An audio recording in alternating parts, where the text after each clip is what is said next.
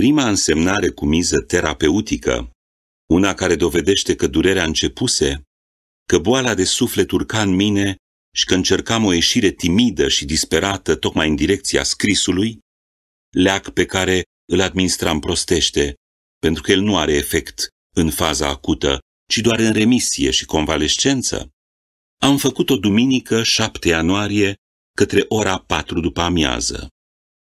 Am mai avut puterea să o strecor, intuindu-i valoarea de document inaugural a ceea ce stătea să vină, între coperțile bej ale unui dosar recuperat, pe care scria, nu știu de ce, Rumanii.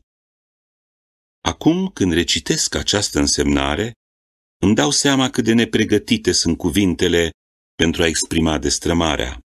Cineva, și eu însumi ar trebui să-i dau dreptate, recitind astăzi ce am scris atunci, m-ar putea socoti patetic și pozeur, sau și mai rău, ar putea spune că fac literatură de proastă calitate. Tocmai asta e neplăcut. Cuvintele nu sunt apte, în asemenea momente, să transmită o stare de alarmă care e total incompatibilă cu literatura.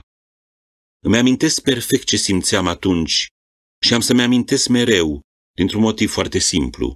Îmi era, sufletește, nespus de rău.